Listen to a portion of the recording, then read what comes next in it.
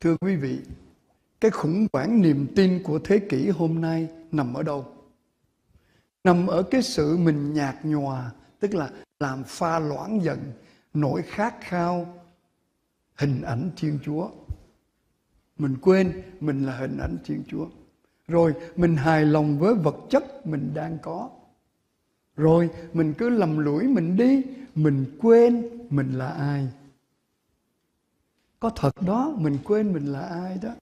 Chúc tôi nói hai nhân vật George Catlin và linh mục Georgiou, người Rumani George Catlin là người Mỹ ở New York. Tại sao? Đúng, nếu lầm lũi trong những cái kế sinh nhai mỗi ngày, trong giải trí và hưởng thụ mỗi ngày, càng ngày càng lôi kéo, chúng ta quên mất mình là ai. Rồi Đức Thánh Cha nói, nhiều khi chúng ta quên ngước mắt nhìn lên để hỏi xem Chúa ơi, Chúa muốn con làm cái gì? Quên thật đó. Có bao giờ trước khi đi ngủ mỗi đêm cảm ơn Chúa cho con một ngày. Không biết hôm nay từ sáng đến giờ Chúa muốn con làm cái gì mà con có làm chưa? Rất thực tế. Nhiều khi mình chưa làm. Nhiều khi sáng sớm thức dậy mình chưa thấy nữa. Vân vân. Cho nên cái lời mời gọi trở về, nó cần. Tất cả đều cần thiết. Tôi sẽ bắt đầu bằng trở về rất dễ thương. Ai cũng biết câu chuyện mới đầu gọi là đứa con hoang đàn sau đổi lại là người cha nhân hậu tôi mời quý vị, đứa con hoang đàn trước khi tôi vào đứa con quan đàn tôi giới thiệu một chút về George Carlin để quý vị thấy rằng chúng ta cần trở về thật chứ không phải nói nói uh, khơi khơi lý thuyết. Ông George Dennis Patrick Carlin là một người sinh ra lớn lên làm việc qua đời ở New York. Ông là một danh hài mà gọi là stand up đó ông rất rất nhiều bằng nhất ít nhất ông được 5 giải Grammy và giải các anh album về hài Ông nói như thế này tôi tóm tắt. Ông nói 14 điều. Những nghịch lý, cái paradox trong thời đại chúng ta. Chúng ta có đường phố rộng hơn, trơn tru hơn, êm ái hơn. Nhưng cái quan điểm của người lái xe lại hẹp hơn. Không có nhường nhịn nhau nữa. Dễ bấm kèn, dễ đưa này. Rồi, kèm phương tiện đi lại nhanh hơn nhưng ít đến với nhau hơn đó là điểm thứ nhất thứ hai chúng ta tranh giành nhiều hơn mà sở hữu ít hơn tranh giành là muốn muốn đi mua cho mau để cho có, hay là ai có cái gì mình phải mua trước, mình mình phải có cho được nhưng mình có đó, tức là thực sự mình sở hữu và mình enjoy đó, ít hơn cứ tưởng tượng, bà Tổng thống Aquino có ba nghìn đôi giày. Tôi có một đôi mà tôi enjoy. Tôi enjoy ba năm nó rách thì tôi ra chỗ Vincent de Paul nó, tôi mua cái khác. Hay có người cho thì tôi mang. Còn bả ba nghìn đôi thì bả mang sao? Ha? Nhiều đôi chắc chắn không thưởng thức. Thứ ba, chúng ta mua sắm rất nhiều nhưng chúng ta sử dụng ít. Để đó, rất nhiều người mua nhiều sách mà tôi thấy tôi mượn về ở trong chưa đọc chưa đọc thứ tư chúng ta có những tòa nhà đồ sộ hơn số người trong gia đình càng ngày càng ít hơn. Thứ năm, chúng ta có cuộc sống tiện nghi nhiều hơn, nhưng không có giờ rỗi, tức là bận biểu cũng nhiều hơn. Thứ sáu, chúng ta có bằng cấp cao hơn, nhưng giá trị nhân bản lại ít hơn. Ghê không? Thứ bảy, chúng ta hiểu biết nhiều hơn, nhưng óc nhận xét lại kém hơn thứ tám, chúng ta có nhiều nhân tài hơn trong xã hội hôm nay, nhưng ít thánh hiền, thánh nhân hơn. Thứ chín, chúng ta sở hữu rất nhiều, vậy mà nhân cách chúng ta lại đi xuống dốc. Thứ mười, chúng ta nói quá nhiều, nhưng yêu thương quá ít. Thứ mười một, chúng ta mưu sinh, nhưng không biết sống cho ra hồn tức là đi tìm bao nhiêu cách để có tiền. Nhưng bây giờ sống cho có ý nghĩa thì không có. Chúng ta sống thọ hơn, nhưng cuộc đời vô vị hơn tội nghiệp không chúng ta làm được những điều rất cao sang, đi lên tận sao hỏa, sao mộc. Nhưng việc đơn giản hơn, đi thăm một người bà nội, ông nội, chúng ta làm không được. Vâng cuộc sống xem ra điều cuối cùng ông nói. Tiến bộ tiến bộ, hưởng thụ hưởng thụ, nhưng quên mất mình là ai. Cứ trở về, theo ông George Carlin, ông mời trở về. Thưa quý vị, đúng là trở về, tôi lại trở về với đứa con hoang đàn. Tôi dám nói đứa con hoang đàn là tiêu biểu cho từng người chúng ta hôm nay chiều thứ sáu hôm nay, trong cái hội trường này. Không sai đâu, lời Chúa Giêsu thật khéo. Hay lắm, Chúa đặt cái dụ ngôn này mà. Đó là tiêu biểu mỗi người chúng ta. Là anh anh con thứ đó, đứa con thứ. Thứ nhất, chúng ta đi tìm tự do. Thứ hai, hưởng thụ. Thứ ba, tự quyết, tự mình quyết định. Ba thứ ai trong chúng ta cũng mong mỏi được? Tại sao? Rồi, đứa con thứ thứ nhất cho rằng cha mình là cái vật cản trở. Rồi kèm vào đó, thằng anh lại là một cái anten của ông bố rình mò, cản trở. Cho nên anh ta muốn tự do. Để được tự tung, mà hãy tự tung thì tự tác, muốn làm gì làm?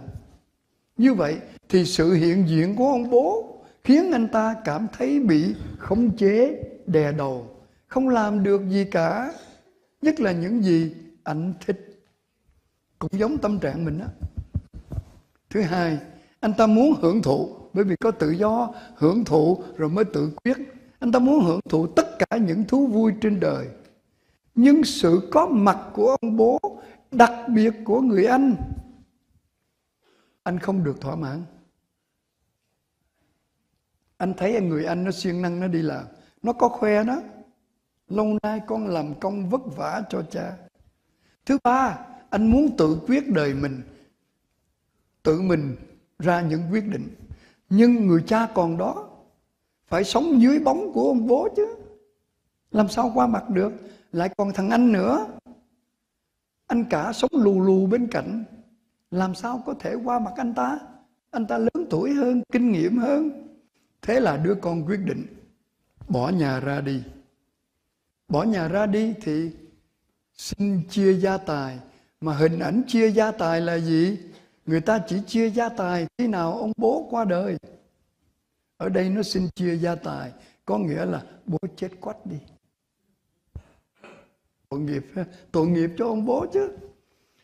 Anh muốn đi xa khỏi cái áp lực của gia đình để anh được thông dong đuổi theo những khát vọng của những dục vọng, những ảo ảnh của cuộc đời.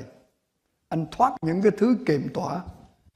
Giống mình đó nhé nhiều khi mình nghĩ lại mình đã từng như vậy.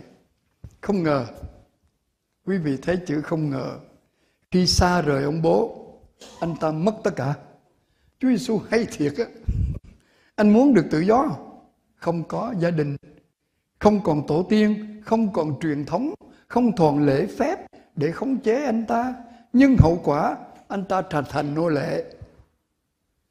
Mà một thứ nô lệ rất nhục nhã đối với người do thái thì heo là không ăn rồi đó. Huống chi là đi chăn heo. Chúa đặt câu chuyện tình huống, Anh đói quá phải đi chăn heo. Trời đất ơi, Thịt heo là cái người ta làm sạch rồi, ngon thơm như vậy Mà không Người Do Thái nhất định không ăn, Nói con heo nó bệnh. Bây giờ mà anh đi chăn heo, Rồi tệ nhất, Anh đói quá, anh muốn ăn cái cám heo. Người ta cũng không cho. Còn đâu tự do Là một hình thức nô lệ rồi. Trước khi đi qua, những ý tưởng kế tiếp tôi hỏi quý vị cho con heo nó khát con lợn chỗ nào? Phải trả lời cho rành rẽ chứ đừng có nói con heo là là miền nam con lợn miền bắc. Nói vậy không hay. Phải trả lời thế này. Con lợn nó, nó sơi ngô. Con heo nó ăn bắp. Đúng nha. Câu hỏi thứ nhì. Con lợn với con heo con nào khôn hơn? Tại sao? Không phải. Trả lời con heo khôn hơn thì trúng mà nói tại vì nó ăn bắp không phải. Con heo khốn hơn là vì Hollywood nhờ nó đóng phim. Mình có phim con heo. Mà làm gì có phim con lợn? Đương nhiên nó khôn hơn. Người con thứ muốn hưởng mọi thú vui trên đời. Không ngờ, anh ta đâu có vui. Hết tiền, hết bạc, hết ông tôi mà người Quảng Đông khi tôi ở trong tù tôi học cái dụ ngôn này, tập dịch ra tiếng Quảng Đông. Thì những người bạn mà khi mình có tiền nó kéo tới, người Tàu gọi là chi phần cẩu dậu. Trư bằng cẩu hữu, có nghĩa là trư là con heo, bằng hữu là bạn bè. Trư với cẩu là bạn như heo với chó. Mà hãy nó thấy có tiệc tùng linh đình, người quán đông tả là pha thiên chậu tỳ hoa thiên tử địa, trên trời có kết hoa, dưới đất có rượu. Thì nó nhậu hết thì nó đi. Anh ta mất. Ở một mình, lúc đó hết tiền, hết bạc, đi chăn heo. Tuổi nhục cay đắng. Thức heo của, thức ăn của heo mà anh ta muốn có, để bỏ vô cho đầy bụng, người ta không cho. Rồi điểm thứ ba, anh muốn tự quyết định đời mình. Không ngờ anh đâu quyết định, người khác quyết định, mày không được ăn thứ đó. Cái đó của heo. Thế rồi. Nói một chuyện nhỏ nhất, bẩn nhất. Anh ta muốn có cơm ăn áo mặc. Không có. Ai cho áo đâu. Bằng chứng là đi về xác sơ, ông bố phải đem áo mới ra cho mặc. Anh không muốn ai kiểm soát mình. Thì bây giờ mọi thứ nó biến anh thành nô lệ. Ghê quá. Cuối cùng, anh đành, tôi dùng chữ đành đành là bất đắc dĩ. Anh đành phải nghĩ đến chuyện trở về. Anh nhận thấy ít nhất là trên bình diện vật chất đó, không nơi nào bằng nhà cha mình. Lạ lùng chưa? Cái hồi đi thì cương quyết đi. Bây giờ trở về hơi xấu hổ, anh soạn ra một cái list để xưng tội nhau. không? Anh ngồi, anh nghĩ lại cha con đã phạm tội với trời và với cha. Con không xứng đáng gọi là con cha nữa, thấy không? Và chắc chắn sẽ có nhiều tội.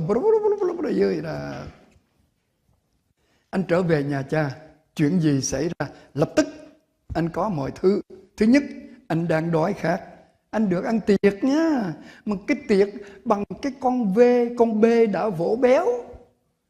Tôi thích cái ý của cha Thuấn Du Xe Nguyễn Thế Thuấn, cha nói không phải con B thường cái ngày anh bỏ nhà đi, ông bố xuống chuồng bê, lựa một con bê. Rồi chính ông vỗ cho nó béo, người Bắc hiểu liền, tức là mời nó ăn, đun cho nó ăn, vuốt ve cho nó ăn, có thể mở nhạc cho nó ăn nữa. Như như bò cô bê vậy đó. Bò cô bê nghe nhạc nó uống bia nữa. Nhưng tôi đố, tại sao ở Việt Nam bò cô bê lại mắc? Ôi rồi ôi, ai trả lời được? Tại sao? À, tại mấy cô trẻ trẻ nó mặc đồ mát lắm nó bê ra. Mấy cô đó bê ra là phải có tiền tiếp đó, đó. này cũng ngồi suy nghĩ nữa. Anh đang đói khát thì được đãi ăn bằng con bê đã vỗ béo. Tức là con bê ông bố ngồi từ lúc anh đi đợi chờ anh về.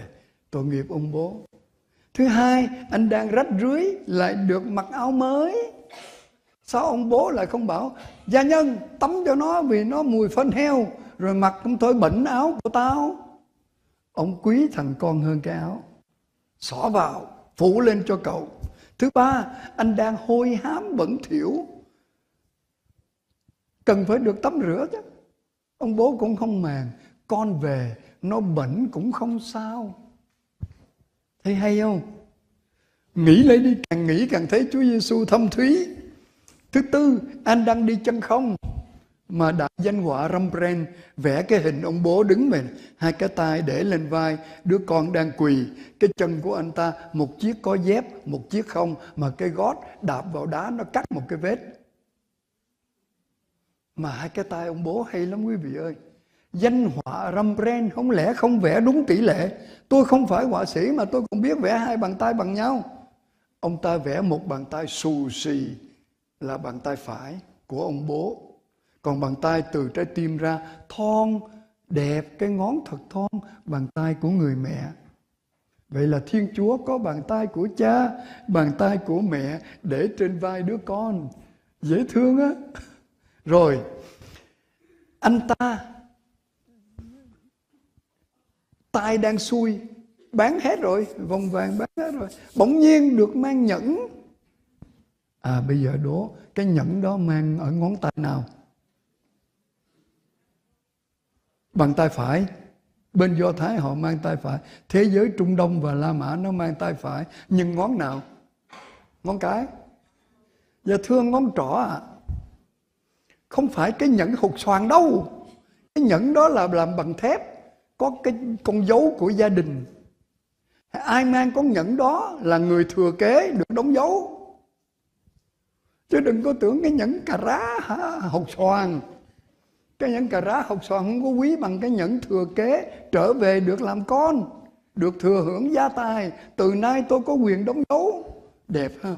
Mình hiểu thấu một chút thì mình thấy, ô, chúa hay thiệt. Cái ông Giêsu này, ông ấy tả đâu ra đó anh, anh đang bị người khác sai khiến như một đứa nô lệ bị bạc đãi. Bỗng anh được kính trọng bởi vì gia nhân nó tới nó ông dạ bỗng cậu ấm này kia.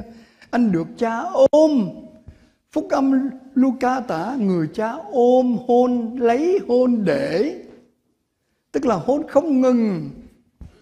Thưa quý ông bà thế thì ngày thứ sáu tuần thánh mình đi hôn hay là mình đi hít?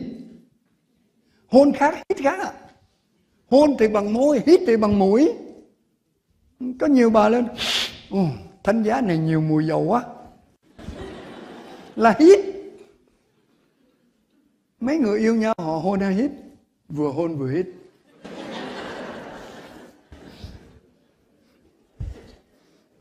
Đặc biệt có câu đố có thể mình đi ra đề chút không sao? Có câu đố ngày thứ sáu tuần thánh hôn chân chúa hay hôn thánh giá? Hay quá, cảm ơn những người có ý thức về phụng vụ đúng. Thánh giá được tôn kính hai ngày, ngày 10, 14 tháng 9 có nguyên một ngày để tôn kính thánh giá. Thứ hai, ngày thứ sáu tuần thánh. Phụng vụ để rõ ràng adoration of the cross chứ không phải the crucifix. Chữ crucifix là cái tượng có gắn Chúa lên tượng đó gọi là tượng chuộc tội. Đó. Còn không có cái tượng đó, không có hình ảnh thì cross, chữ thập. Mình gọi là thập tự. Nếu đã được làm phép thì mình gọi là thánh, thánh giá hay thập giá. Rõ ràng, ngày thứ sáu tuần thánh hôn cái cây không đó đó. Mới đúng phụng vụ, đúng trăm phần trăm rồi ở nhiều nơi bày ra hôn chân chúa, rồi còn để bắp rang nữa. Cho con nít lên hôn cái nó bóc. Nó đâu có lo hôn, nó bóc, nó bỏ túi. Ăn xong chạy vô lại hôn tiếp. Bởi vì nó gọi là cái bỏng không? đó. Tôi không chỉ trích, nhưng tôi nói nó sai phụng vụ là không chấp nhận được. Phụng vụ nói tôn thờ cái cây mà Chúa dùng để chết trên đó để chuộc tội cho mình. Hay thế không? Mình hiểu rõ đi. Mình phân biệt hai cái cây. Một bên là the cross, tiếng pháp là croix. Bên này, the crucifix, tiếng pháp y như vậy cũng le crucifix. Fix là gắn vô. Có người bị gắn vô cái crucis là cái cây thập giá đó. Anh đang buồn rầu. Anh trở về. Có nguyên dàn nhạc nó hát. Và vì nó hát ồn ào, thằng anh ở ngoài đồng mới nghe chắc là mở âm ly to lắm. Hay thật, tất cả thay đổi. Nhất là tôi thích nhất cái điểm này. Nhiều nhà thần học đang bàn cãi, anh tính xưng tội. Quý ông bà nhớ không? Anh thấy ông bố, cái anh quỳ xuống, cha ơi, con đã lỗi phạm đối trời và với cha. Con không đáng gọi là con cha nữa. Xin cha cho con là một đứa gia nhân trong nhà và đây là tội của con. Ông bố gạt ngang. Tụi bay đem áo ra cho cậu, đem nhẫn ra, vân vân. Không thèm nghe. Đó là một vấn đề đang bàn cãi. Có cần phải đi xưng từng tội nữa không? Một khi chúa đã biết hết. Nhưng mà giáo hội chưa chuyển biến, đang tranh cãi, đang tìm hiểu, đang học hỏi. Vì chính Chúa Giêsu nói, ông đó đâu có xứng ông bố gạt ngang rất là vui đó, mình nghĩ nhưng người Việt Nam thì cần Tại bởi vì những lần xưng tội tập thể được tha hết rồi. Vậy mà sao lễ phục sinh mấy bà tới, hôm bữa có tha được thiệt không cha?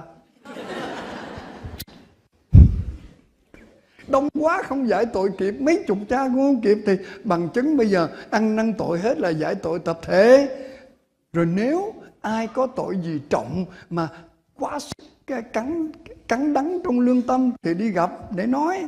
Nhưng lúc đó phải tin rằng mình được tha là vì cái công thức xá giải của giáo hội mà mình không tin. Còn hỏi có tha thiệt không? Không an tâm về tâm lý. Cho nên ai không an tâm về tâm lý cứ sử dụng. Đặc biệt, tôi đi dự lễ giao hòa tức là xưng tội ở bên giáo hội phương đông. Ở đây tôi cũng phải nói một chữ nữa, gọi là orthodox. Thế kỷ thứ 11, thượng phụ giáo chủ Michel Cerule tách rời khỏi Đức Giáo Hoàng ở Roma. Hai bên không đồng ý với nhau tách rời. Rất đáng tiếc. Từ đó, giáo hội bên phía đông, họ gọi họ là Orthodox, tức là authentic. Mình dịch là chính thống. Như vậy bên mình, nếu mình gọi họ chính thống thì mình ngụy. Không chính thống. Giáo hội giật mình mới sửa lại đây là giáo hội phương Đông còn mình là bên phía La Mã. Bên đó tội hay lắm, không có tòa, linh mục ngồi. Có hai loại linh mục nha. Giáo hội phương đông có hai loại linh mục. Đặc biệt, linh mục nào cũng phải để râu. 30 tuổi cũng phải râu tới đây. Cho nên mấy ông đó, mấy bà đừng có mời tới ăn bún riêu. Nó dính tùm lum trong đó. Rồi, một hối nhân tới thì ngài đứng dậy đứng dậy chào bắt tay. Lúc trước covid ấy, có bắt tay. Rồi ngài quỳ xuống. Ngài nói cái gì thì tôi ở xa tôi không nghe. Ngài quỳ xuống. Rồi hai cái người kia cũng quỳ xuống rồi nhìn nhau xưng tội. Hết người nào xưng tội tôi đến ông cũng tưởng tôi xưng tội. Ông đứng lên mà tội tôi mặc áo cổ trắng. Uh, Father you are Roman Catholic? Yes I am. Giờ ông muốn xưng tội hả? Vâng, vâng không, không, con có xưng tội, con mới xưng rồi. Nhưng con hỏi, xin cha chỉ cho con cái nghi thức, cái ceremony bên này có cái gì nó khác với tụi con.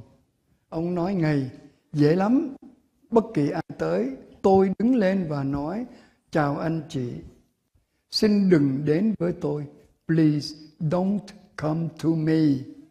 Nhưng xuyên qua tôi, but through me to the Lord bước xuyên qua tôi đến với Chúa. Because I am a sinner like you. Bởi vì tôi là tội nhân giống như anh hay chị. Cái là ông quỳ xuống trước, ông nhận tội. Người ta được encouraged, được khuyến khích. Thấy không? Cũng hay hay đó đúng không? Nhưng mà đó là bên giáo hội phương Đông. Mình đang bàn chuyện thằng em à. Tự nhiên ngồi gật gà gật gù là thế nào? Tóm lại thằng em Phẩm giá của nó bị hạ xuống tận bùn đen, bỗng được nâng lên, được kính trọng, được phục hồi.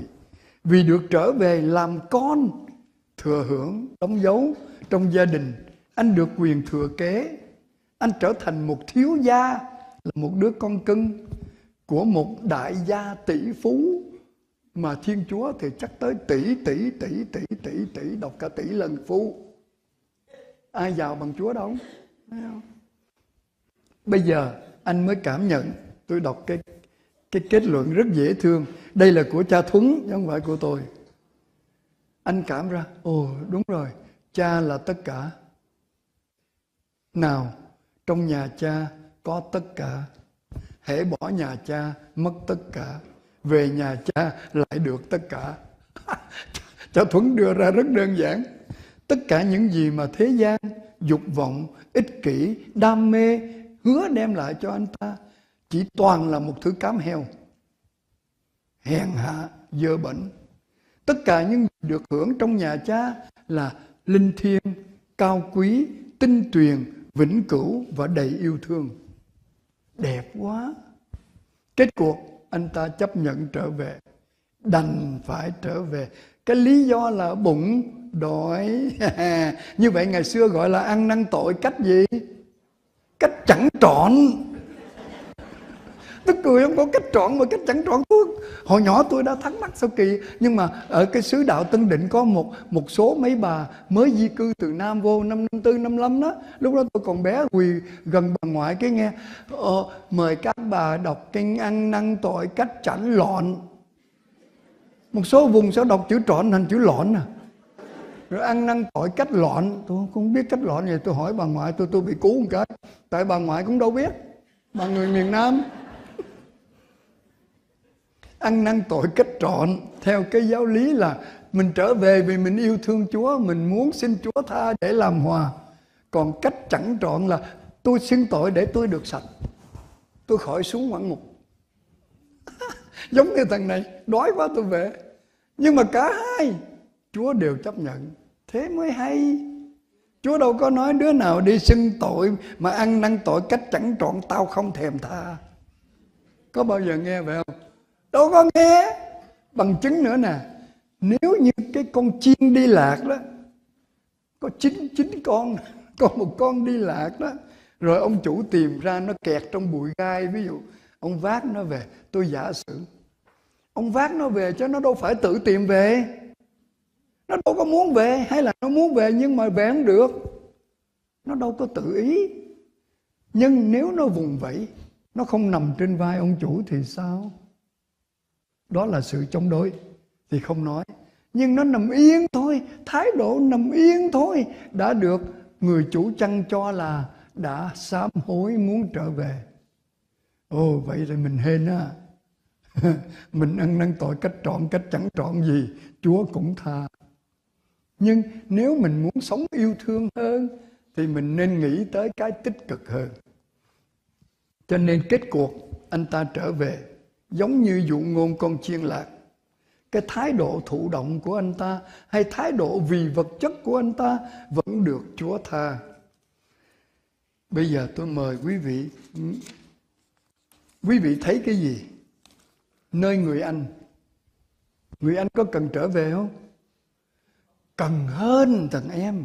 Chết thế. Ý Chúa Giêsu muốn nói mặc dù Chúa nói ngắn hơn.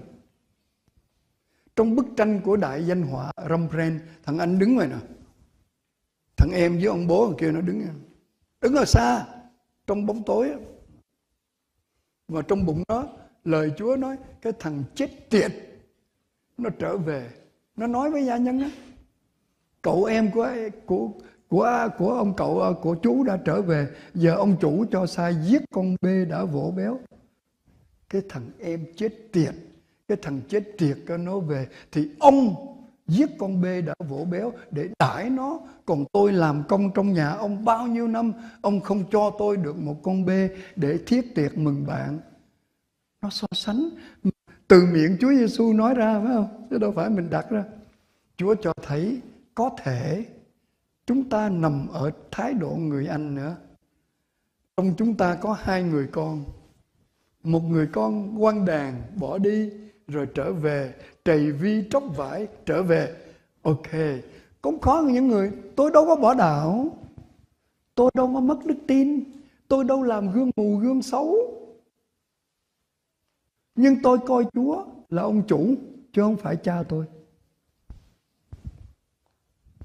Chính cái mà Chúa Giêsu cứ thuyết phục là hãy xem Chúa là cha thì rất nhiều người không chấp nhận Tôi làm tất cả phận sự, tôi đọc kinh thật nhiều để tôi dọn đường gửi vô ngân hàng thiên đàng.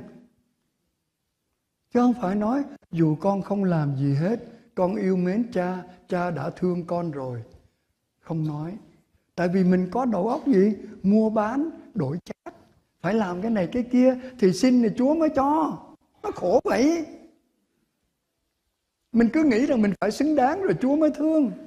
Nếu mình xứng đáng rồi Chúa mới thương, Không còn có cái chữ lòng thương xót. Bảo đảm không thể có chữ đó được. Thương xót là thế nào cũng thương. Mình mở phong trào kính lòng Chúa thương xót Mà mình vẫn coi Chúa là một quan tòa. Chúa phạt chết đấy. Nói vậy đó. Chúa nào phạt? Chúa gửi thánh giá đến đấy Thưa không? Thánh giá là do con người làm ra Đóng con của ông vào đó. Có nhà nói với tôi Chào thấy không? Bên Tây Úc đó, Hai đứa đó Chỉ hai đứa con gái 16, 17 tuổi Nó là thánh giá dễ cạo gió. Rồi hỏi sao vậy? Cha coi cái lưng của nó kìa Nó mặc cái áo gì mà cái lưng nó để sẵn để mình cạo gió? Là thứ thánh giá của ổng Là Chúa thánh giá chỗ nào? Con ông mà làm kêu kêu thánh giá. Chúa đâu có gửi thánh giá kiểu đó đến. Nhưng trở lại vấn đề, mặc dù cái đoạn người anh ngắn hơn, nhưng mình thấy cái gì? Thằng em nó đi, nó về, ông bố ra mừng, không cần năn nỉ. Ghê chưa? Còn thằng anh, nó không chịu vô nhà. Tội nghiệp ông bố lại lụm cụm đi ra, mời nó vô. Kết cục nó có vô không? Chúa không nói, mình không biết nhưng thái độ của ông bố là mình suy nghĩ lại chứ. Tội nghiệp ông. Ông ở đâu mình không biết. Ông là vô hình, thiên liêng. Nhưng ông có sự yêu thương thật. Mình mới có mặt ở đây. Mình mới chào đời. Mình mới có một gương mặt và hình hài. Không ai giống ai. Mình là duy nhất trong cuộc đời này. Tại sao mình không nghĩ mình là món quà không đụng hàng mà chúa dựng nên từ đó mình phải nói lại, chúa chúa thương con vậy à? Rất nhiều điều phải suy nghĩ về cái dụ ngôn trở về với người cha. Dễ thương quý vị. Tôi thấy căng thẳng quá. Bây giờ bảy giờ rưỡi không biết ban tổ chức có thầy phó tế ai, ai cho tôi biết. Tôi nói tới mấy giờ? Tại bây giờ 7 giờ 34 cái gì? Bà này nói tới 12 giờ đêm. Bà bà có biết không này à ta, mấy mấy 8 giờ mấy? 8 giờ đúng rồi. Rồi còn thăng thêm 30 nữa. Vậy mình còn 25 phút không sao đâu. Rồi. À, khoan chưa tới câu đố phải không? Rồi chưa tới câu hỏi không sao. Câu hỏi thì hỏi dễ dễ thôi chứ tôi không có thông thái lắm đâu. Thưa có mấy sơ nữa cho tôi. Thưa mấy sơ thưa quý ông quý bà có câu đố đời sống thiêng liêng của mỗi người chúng ta bắt đầu lúc nào? Tôi dùng lại chữ nha, đời sống thiêng liêng. Tôi không nói đức tin. Tôi không nói đời sống đức tin. Tôi nói đời sống thiêng liêng. Cái spiritual life bắt đầu lúc nào? Lúc rửa tội là đức tin có hạt giống gieo xuống, còn nó mọc chưa chưa biết nó đúng là với đức tin. Khi nhận bí tích thanh tẩy thì mình có hạt giống đức tin. Nó mọc chưa? Đâu biết. Nó mọc mới gọi là đời sống thiên liêng. Đây là định nghĩa của mỹ mà được thế giới thích nhất. Các nhà thần học và giáo lý mỹ đồng ý nói, đời sống thiên liêng chỉ bắt đầu khi nào mình ý thức và tin rằng mình được chúa yêu thương cách cá biệt, vô điều kiện, vô bến bờ. Tôi đọc thuộc lòng đó. Tôi đọc lại nha. Đời sống thiên liêng chỉ bắt đầu khi nào, tức là cái lúc nào mình tin, mình ý thức, mình nghĩ ra và mình tin rằng mình được Thiên Chúa yêu thương một cách cá biệt là từng người một, không có trùng với ai. Rồi vô điều kiện, vô bến bờ. Ghê quá hả?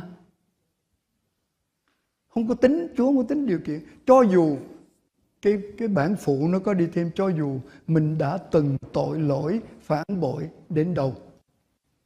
Nếu mình tin rằng Chúa yêu thương mình mình hạnh phúc lắm, thưa quý ông bà. Mình ngồi đâu mình cũng có thể nhìn lên trời. Dĩ nhiên là mình nhìn cách kín đáo, chứ không lẽ mình đi ngoài đường mình cứ vậy? Cũng giống như con bà bên tôi đi xưng tội rồi tôi bảo chúc chị từ đây cho đến khuya đó, khuya thứ bảy đó, cười thật nhiều. Hôm sau cái bà lên bà nói không được cha. Con đi lễ ra con đi con cười. Mấy chị kia nói ủa em bị cái gì vậy? Cười một cách kín đáo. Cười. Con ông cũng đi xưng tội. Thấy ông đạo đức cha bảo về về nhà kính đáo hôn thánh giá mỗi ngày ba lần trời, tuần sau đi lễ bà vợ hạnh phúc lắm. Thưa cha cha nói sao mà bây giờ ảnh hôn con ngày ba lần? Thánh giá.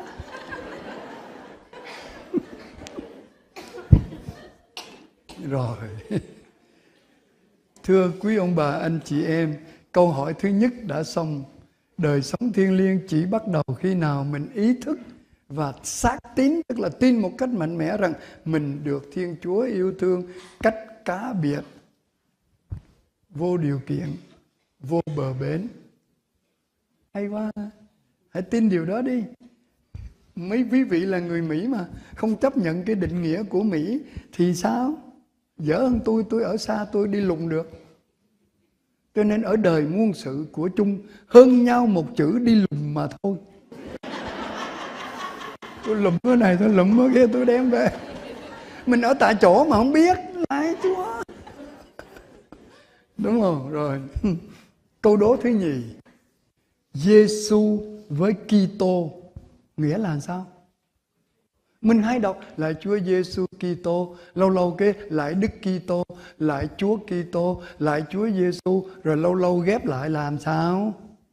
Giêsu là gì? Tên riêng. Tên riêng đó, tên Do Thái đều có nghĩa. Vậy chữ Giêsu nghĩa là gì? Đang nói ngon lành cái tự nhiên.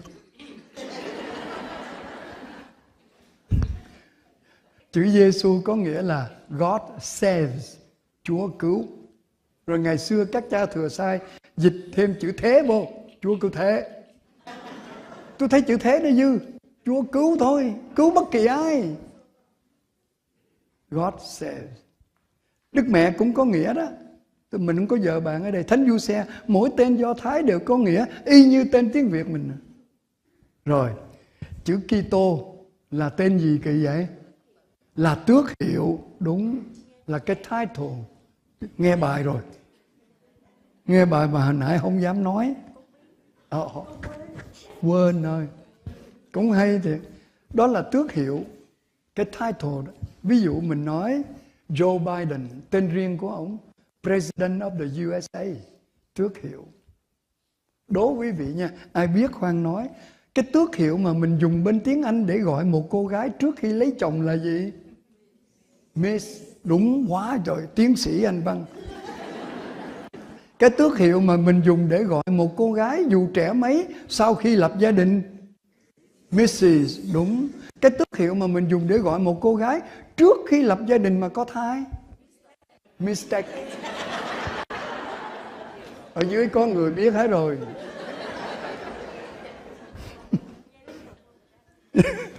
Tôi đố câu đó trong dòng mấy sơ dòng kính mấy sơ nói Father, not only mistake but also misfortune.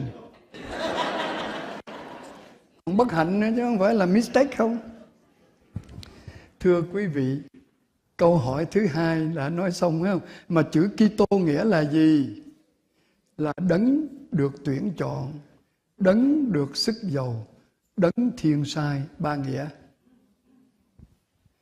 Chữ Christo, Christus tiếng Hy Lạp là được tuyển chọn. Mà ngày xưa tuyển chọn là người ta tách ra, người ta sức dầu lên đầu. Và cái đấng được Thiên Chúa tuyển chọn để sai xuống gọi là The Messiah, thiên sai. Cho nên mình đọc Giêsu Kitô là mình tuyên xưng tất cả tước vị của Ngài. Rồi chưa? Câu đố nữa, nghe đố lại sợ. Không, đố bây giờ đố ở ngoài đề cho vui nè. Thánh nào trong công giáo của mình mình vừa mới mừng đó mà có ba đầu sáu tay nghe ghê quá. Mà này nó làm gì có? Có. Có đàng hoàng một thánh mới mừng đó hồi tháng chạp đó có ba đầu sáu tay. À thánh gia thánh gia thánh đó đức mẹ một đầu hai tay. Chúa giêsu đầu hai tay. Thánh du xe một đầu hai tay ba đầu sáu tay. Trời ơi. Tôi, tôi, tôi, Chuyện đơn sơ vậy mà không biết nữa. Lại còn gật gù. Nó có lý vào nó Đố vui thôi Dạ thưa Đây là một trong những tóm tắt linh đạo của cố Hồng Y, Francisco Xavier Nguyễn Văn Thuận. Ngài có, Ngài nói, tôi gửi bonus cho anh chị em. Ghê không? Bonus. Có mấy điểm sau đây? Bảy điểm Ngài đề nghị. Thứ nhất, tập kiềm chế giác quan. Mà cái khổ là cái giác quan. Nó như con ngựa không dây cương. á Tức là cặp mắt của mình. Ngó tứ tung đó. Thứ hai, muốn kiềm chế giác quan thì phải tập năng xét mình. Examination of conscience. Thứ ba, xin lúc nào cũng gieo hòa bình, đừng gieo chia rẽ. Hay ha. Thứ tư, giữ giữ gìn miệng lưỡi của mình như một con ngựa bất kham. Thứ năm, hãy tạo ảnh hưởng tốt trên người khác, đặc biệt trên trẻ em. Thứ sáu, tập sống vui tươi với nụ cười. Và cuối cùng, hãy đặt Chúa Giêsu là trung tâm để luôn luôn quay trở về với Ngài. Bảy điểm hay quá đi chứ, thật á. Mình chọn một cái mình làm cũng được. Mà Ngài nói nếu theo đúng thứ tự đó mà thực hiện sẽ được nhiều hạnh phúc ở đời này và đời sau. Kiềm chế giác quan, năng xét mình, gieo hòa bình, giữ gìn miệng lưỡi, tạo ảnh hưởng tốt trên người khác, sống vui tươi và đặt Chúa Giêsu là trung tâm. Đơn sơ thật á. Mà tôi nghĩ nếu mình đặt Chúa Giêsu là trung tâm mình có sáu cái kia. Ngài khôn lắm, Ngài để ở chót nó giống như cái chìa khóa vậy đó. Thật ra có cái miệng con người, cái lưỡi nó không xương nhiều điều, lắc léo nghe đây. Có một ông nông trại ở Mỹ nè, nuôi heo. Tôi nuôi tôi nói nuôi heo á, ta tôi người miền Nam mà. Ừ. Rồi sáng thứ hai thấy phái đoàn báo chí, tivi chạy một đoạn vô. Trí máy đồ xét lên hết, mời ông chủ ra. Ông chủ đứng hãnh diện bởi vì cái trại heo của mình được lên tivi được quảng cáo. Thưa ông chủ, chúng tôi hỏi một câu thôi. Buổi sáng sớm, ông chủ cho heo của ông ăn cái gì? Ông trả lời rất thành thật, thì nó ăn bột, ăn cám với lại một chút vegetable băm nhỏ ra thôi. Cảm ơn. Nó đi về. Hôm sau, tờ báo địa phương nó đăng, nó nói cái trại đó nó ngược đãi súc vật. Nó cho ăn những điều mà thấy ghê tởm lắm ông sùng lên, ông đọc báo ông sùng. Ngày thứ tư thấy nó chạy xe vô. Ông ra ông đợi rồi. Cho ăn gì? Ông nói, sáng nó ăn butter and cheese, bacon and egg. Rồi, báo chí nó về, nó cười. Ông nói, đó, mày hết chê. Nó đăng báo, nó nói, cái trại này không có bác ái. Những trẻ em ở bên châu phi không có gì ăn, mà ở đây heo ăn sang. Trên bà, thấy cái lưỡi không xương không? Ngày thứ sáu nó chạy vô, ông đứng đợi rồi. Chết tụi bay. Ông chủ cho heo ăn gì? Ông cười, ông nói, sáng tôi phát cho mỗi đứa hai đô, nó muốn ăn gì ăn.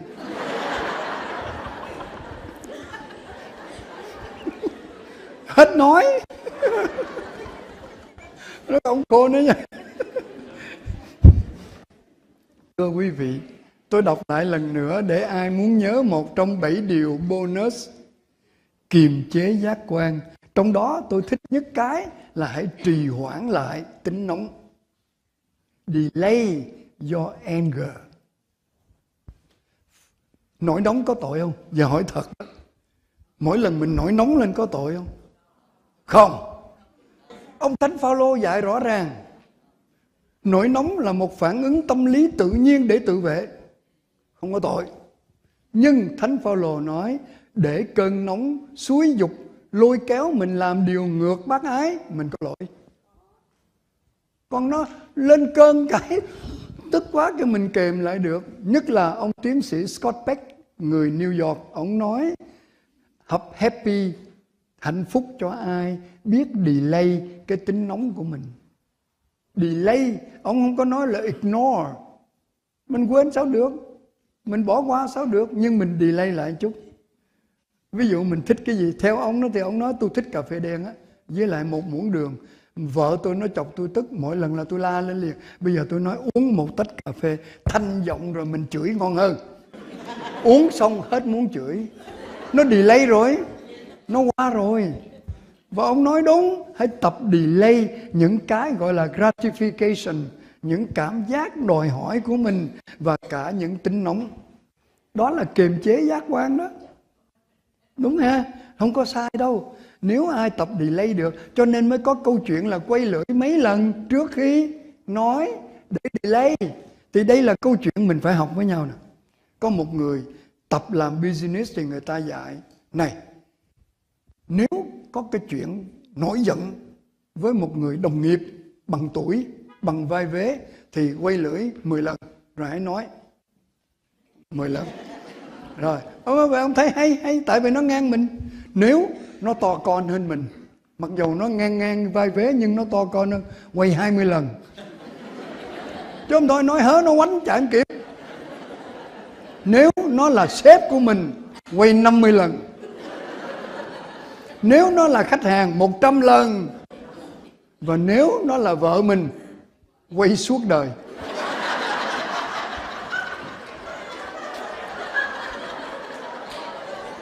Và nếu nó là chồng mình, khỏi cần quay.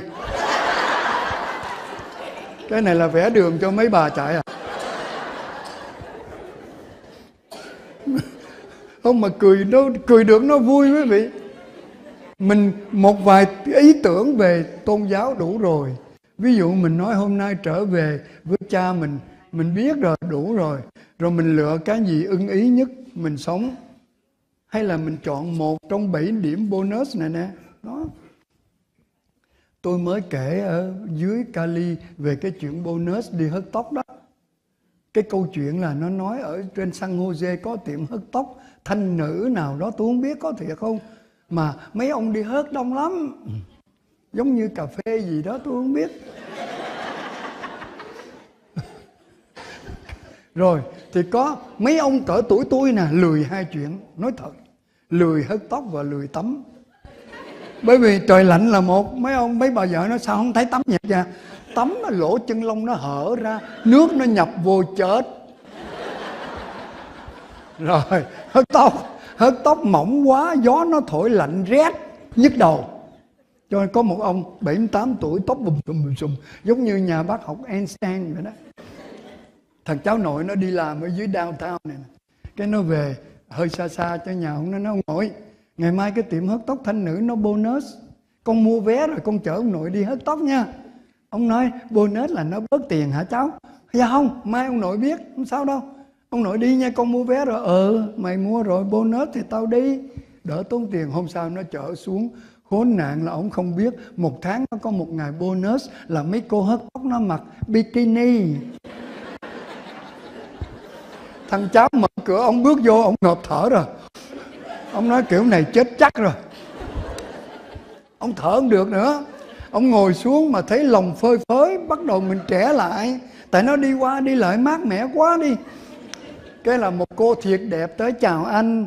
Ôi trời ơi, mình 78 tuổi, nó kêu mình bằng anh. Anh ông bác ruột quá, ông nhắm mắt lại, ông tận hưởng. Cái tiền nó hỏi, anh hớt tóc kiểu nào? Đang mát ruột ông nói muốn hớt gì hớt? Nghe ghê quá hả? Cái nó hoàng cái khăn vô cho ổng, nó cột lại, kỹ lưỡng. Tay chân nó mềm mại lắm rồi, cái nó hỏi anh, có vợ chưa? Mẹ ổng sùng lên.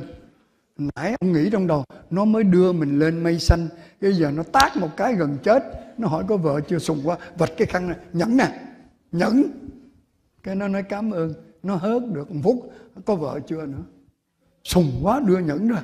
Đưa năm lần như vậy, xúc gỡ khăn ra. Hớt tóc thì lo, hớt tóc hỏi vợ chi? Cái nó nói, xin xin lỗi xin lỗi. Đây là nghề nghiệp của tụi em. Em quên nói cho anh biết. Cái nó quấn khăn là anh ngồi xuống bớt nóng. Cái nghề của tụi em đó là vậy nè. Mấy bậc trưởng thượng tóc nó mịn và nó nằm sát đầu, khó hớt lắm. Hãy nhắc tới vợ là tóc nó dựng đứng lên. Dễ hớt.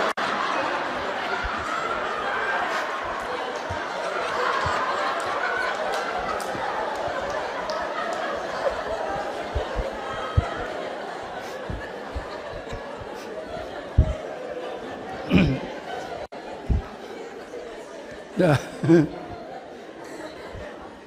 bà thấy không có gì vui hết á. Dạ thưa. Để tôi tóm tắt lại những gì tôi nói hôm nay bằng một đoạn rất ngắn, rồi mời quý vị cho vài câu hỏi để mình giữ đúng giờ, đúng giấc. Yeah. trở về, nhu cầu trở về trở về với cha mình.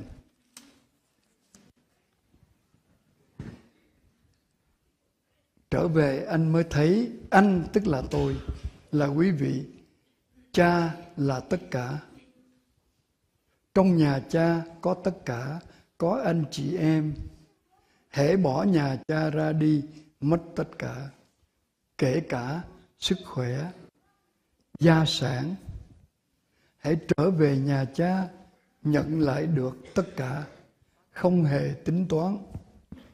Tất cả những gì mà thế gian dục vọng, đam mê, ích kỷ cá nhân, hứa cho chúng ta. Nhớ, nó chỉ toàn là cám heo, tồi tệ, dơ bẩn, hèn hạ.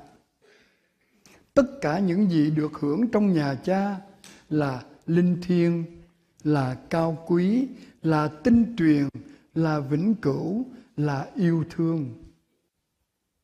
Đó, kết luận, không nói nữa. Và bây giờ nếu có câu hỏi ban tổ chức sẽ đưa cái cái microphone. Ai hỏi hỏi dễ dễ thôi. Bởi vì quý vị ngồi lâu rồi tôi thấy cũng cần phải đi xả nước cứu thân. Dạ, con cảm ơn cha và kính thưa với uh, xin phép quý sơ quý thầy là cùng cộng đoàn dân chúa là như thế này. Cái vấn đề đặt câu hỏi là có hai cách. Cách thứ nhất là chúng ta có thể ghi ra và con sẽ nhờ thầy định chuyển cho cha cái thứ hai là quý cụ quý ông bà và anh chị em, ai muốn đặt câu hỏi, giơ tay lên, thì chúng con sẽ mang microphone đến từng người và cái điều là mình cố gắng làm sao mình đặt câu hỏi ngắn gọn để mình được nhiều câu hỏi hơn và cái bắt đầu từ bây giờ cho đến 8 giờ rưỡi là chúng ta đặt những câu hỏi để cho cha ừ. trả lời cho chúng ta. Ừ. Con xin cảm ơn cộng đoàn dân Chúa rất là nhiều. Và giờ đây, ai là người đầu tiên muốn đặt câu hỏi ạ? À? Tôi đếm đến ba mà không ai hỏi là tôi chia làm hai để chơi à, trò chơi. Bây giờ đó. mời chị ạ. À, thưa cha, ở trong phúc âm thì con có thấy nói là Chúa có khóc một hai lần gì đó mà chưa hề thấy nói là Chúa có cười. Như vậy Chúa có cười không ạ? À, đây là một câu hỏi rất hay. Tất cả các nghệ sĩ công giáo hay tinh lành của Hoa Kỳ họ bắt đầu một phong trào vẽ toàn ảnh Chúa Giêsu cười. Quý vị đi mua đi, bây giờ quý vị, quý vị đánh lên chữ Smiling Jesus lên trên Google Pictures. Nó toàn họa sĩ Mỹ là nhiều nhất vẽ Chúa cười. Bởi vì sao sao mình dám tin rằng Chúa cười? Nói thật, ví dụ đây có hai em bé, con của anh chị Lộc nè. Nếu tôi đến với các em mà không cười, tôi đâu dám tới chơi. Câu cái đầu tiên nhìn là phải cười, mặc dù tôi biết tôi cười xấu tôi cười, thì các em nó cười lại. Tôi tin chắc là người ta đem trẻ con đến chơi với Chúa Giêsu và chắc chắn Chúa phải cười với nó. Rồi nó quấy rầy, nó giật tóc, giật áo gì đó. Mấy ông tông đồ nổi nóng mới đuổi. Và lúc đó chính Chúa mới khó chịu, nó đừng có đuổi. Rõ ràng không? Lật Matthew ra đọc lại đi. Rồi chưa? Cho nên đúng như chị nói, sách không tả nhưng tôi tin gương mặt Chúa hấp dẫn và cười nhiều, người ta mới đi theo đông như vậy. Rồi, đó là một câu, mặc dầu không có bằng chứng, đúng. Thế là chia làm hai chơi à? Vâng, vâng, mời chị. Chơi cũng vui lắm, mình còn giờ thì cũng chơi. Chơi tập thể mà. Dạ thưa cha, À, con muốn hỏi cha là trong uh, cái history nói về cuộc đời của Chúa Giêsu thì nói là có khoảng chừng bao nhiêu năm từ teenager cho tới 30 tuổi thì không biết là Chúa ở đâu. Có giả thuyết nói là Chúa qua bên uh, Middle East Ấn Độ uh, học những cái thuyết của Ấn Độ giáo hoặc sau đó thì con muốn cha có thể verify ừ. cho con hiểu rõ ừ. thêm được không? À, tôi tin một điều lúc lúc từ Ai Cập trở về rồi tới lúc 12 tuổi đúng không mình còn chắc chắn Chúa Giêsu ở với mẹ và dưỡng phụ Lúc 12 tuổi tự ý đi ở lại đền thờ, chứ không phải đi lạc. Đừng có nói Chúa đi lạc trong đền thờ, ông có tự ý ở lại. Thì lúc đó mình còn bằng chứng là 12 tuổi vẫn ở với cha mẹ. Rồi lịch sử và Tân ước không nói ông Du Xe qua đời lúc nào. Không ai biết. Vậy chắc chắn Giêsu phải nuôi mẹ. Cho nên không có đi đâu hết á. Nuôi mẹ. Và bằng chứng là người ta nói, khi Chúa trở về hội đường, người ta nói đó, cái ông Giêsu con ông Du Xe thợ mộc, chắc cũng làm nghề thợ mộc đó. Và mẹ cho nên tôi tin rằng Chúa không có ra khỏi đất nước Do Thái. Vẫn ở đó, đi tới đi lui với người đồng hương. Chứ không một số sách người ta nghi ngờ nói Chúa đi học bên Ấn Độ để có những cái triết thuyết tôi có đọc. Nhưng tôi không tin là vì đối với thiên tính Chúa không cần học gì hết. Nhưng đối với nhân tính vì Chúa là người thật và Thiên Chúa thật. Đó là tín điều mà thế kỷ thứ ba những bè rối không chấp nhận. Nói một trong hai. Nhưng giáo hội công giáo xác nhận Chúa vừa là người thật, vừa là Thiên Chúa thật. Mà nếu là người thật thì phải nuôi mẹ. Đừng có tin cái vụ mà uh, trong cái xưởng mộc của ông du xe đó, ông lo ra, ông ngủ gục, ông cưa ba bốn cái chân bàn một cái ngắn. Cái trong sách sách truyền đó, sách uh, truyền khẩu đó nói mời Chúa ra, con thấy không? Đức mẹ nói ờ, bố cưa một cái chân nó thiếu, cái Chúa cầm kéo huyết ra xạo có đâu đừng có tin mà nếu vậy thì Chúa cứ mỗi tháng búng cái nó ra bốn chục đồng dinarius để nuôi mẹ cần gì mẹ phải vất vả vất vả đến mức độ ông bố nuôi đó ông dưỡng phụ ông chết sớm đó cho nên đừng tin những cái thuyết nói Chúa đi ra khỏi Do Thái để đi học. Đấy. Cảm ơn đã đặt câu đó. Thưa cha cho con hỏi câu hỏi số 3. Ừ là con đã vừa gặp cha truyền 2018 ở bên Việt Nam ở sáu xứ Bảo Lộc. Thì con có hỏi cha tại sao cha cứ nói nhà Chúa cha thì cha truyền đưa cho chị Thiên Thương nói chuyện với con. Khi chị Thiên Thương nói chuyện với con xong, chị Thiên Thương nói là chị bị quỷ ám. Thì một đám trong nhà Chúa cha ra trừ quỷ cho con.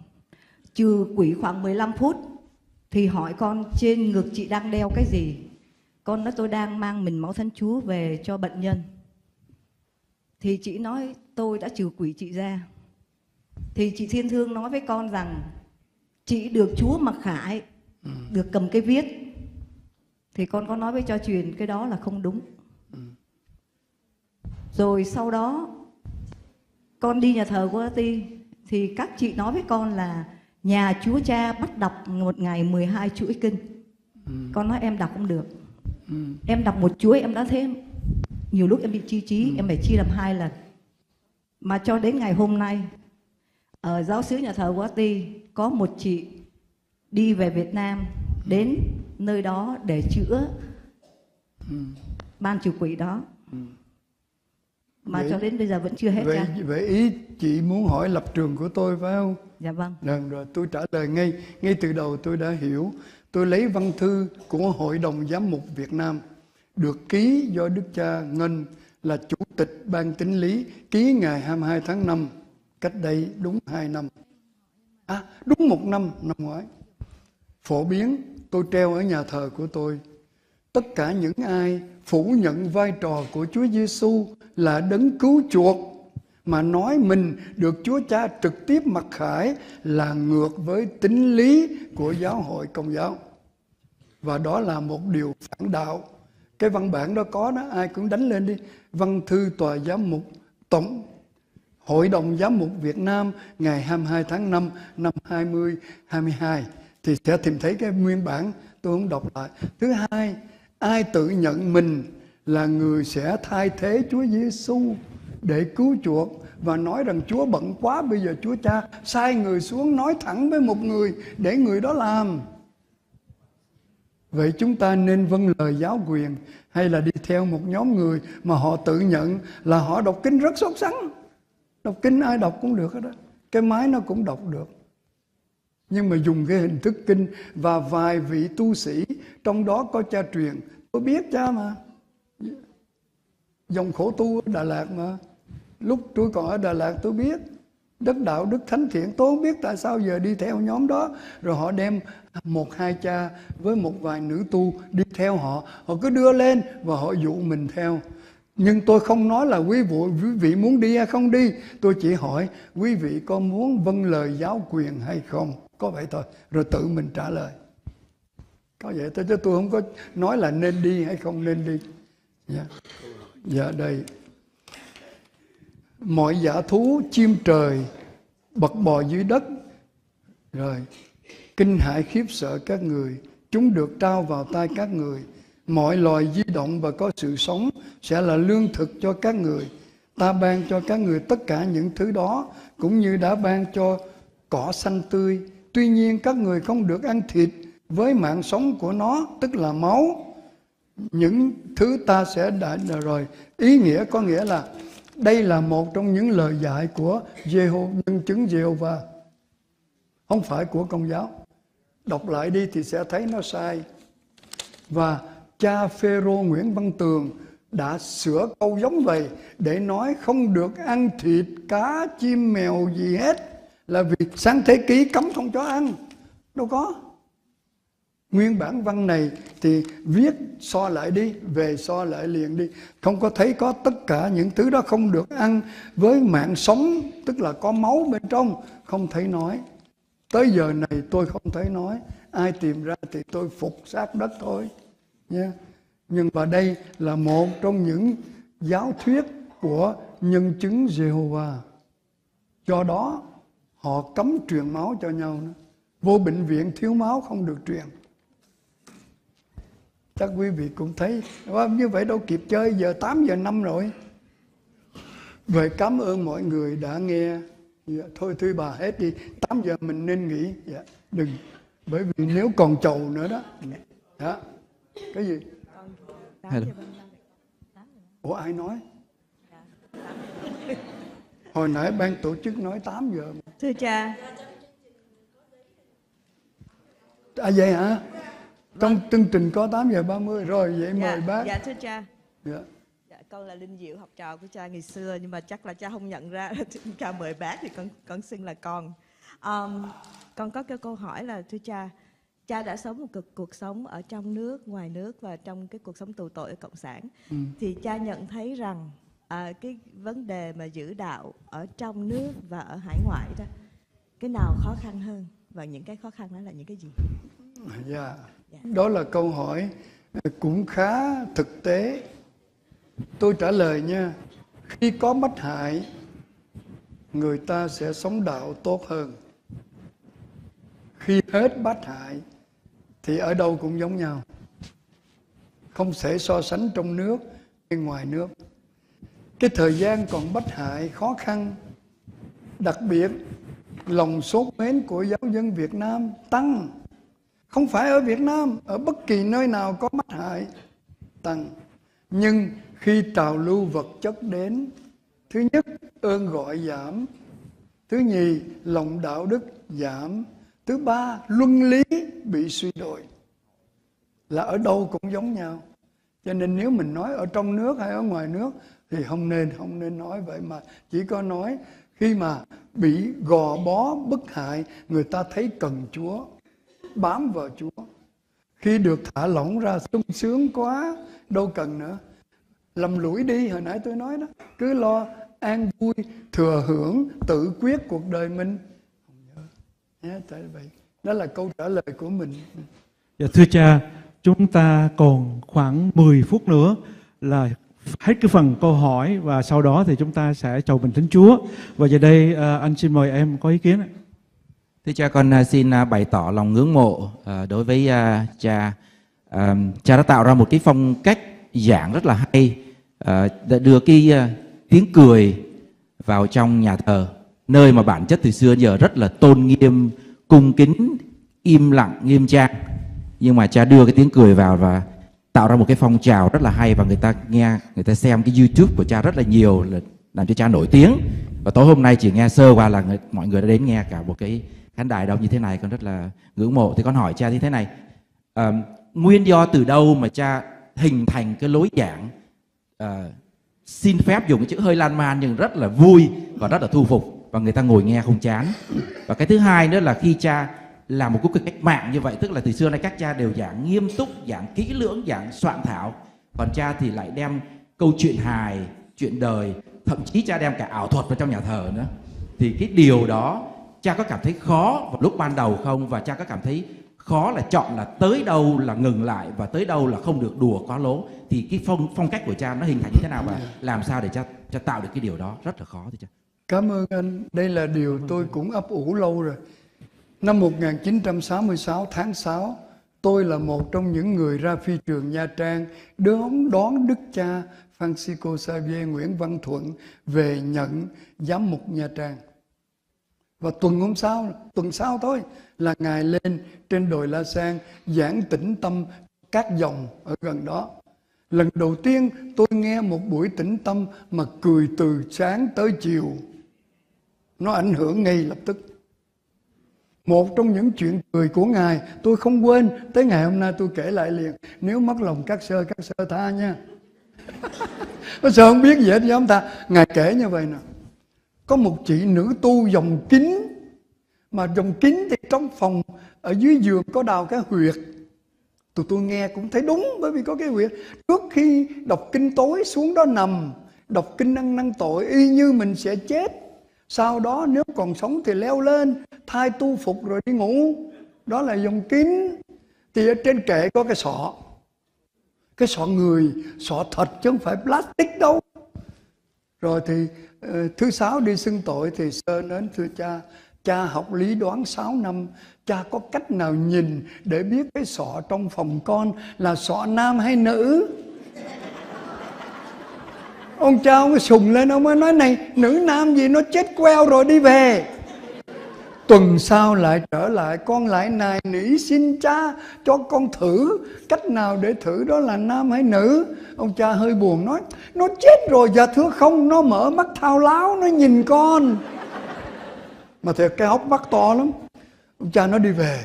Sáu lần như vậy, ông nói này, có cách thử nè. Cách thử. Nghe chưa? Đi về. Thì chị rắn nghe.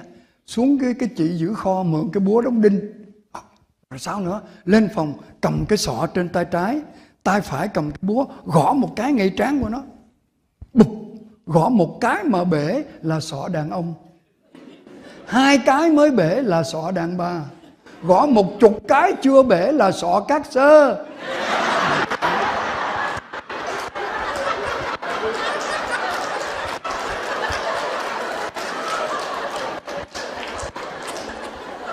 Tôi dám chắc đó là câu chuyện Đức Cha Thuận sưu tầm, Trừ tiếng Pháp ra. Mà Ngài kể, Cho nên tôi trở lại vấn đề anh hỏi. Đúng, Người ảnh hưởng trên cuộc đời Và cái cách chia sẻ đầu tiên trong đời tôi. Lúc đó tôi là dòng la sang, tôi không là linh mục, mà tôi bị ảnh hưởng lúc đó là nhân vật thứ nhất, đặt nền tảng sâu nhất cho cái cách nói rất dí dỏm, rất vui. Rồi, người thứ hai mới qua đời là linh mục du xe, nguyễn tiến lộc, dòng chúa cô thế bạn tù của tôi, huynh trưởng của tôi, đàn anh của tôi hai người đó đã làm cho cái cách tôi nói trong lớp cũng thay đổi lúc đó tôi còn dạy học và bây giờ thì đi qua cái chuyện phục vụ để mà truyền bá lời Chúa, thì tôi dùng cách của hai vị đó mà tôi là học trò. Cảm ơn nha. Hay quá.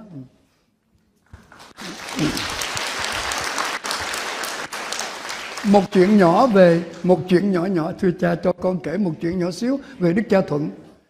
Tháng Giêng năm 75 miền Trung đánh tứ tung thì nhà dòng nhà dòng Bảo tôi xuống đi mua sách giáo lý cho niên khóa mới, cho đệ tử viện La Sang.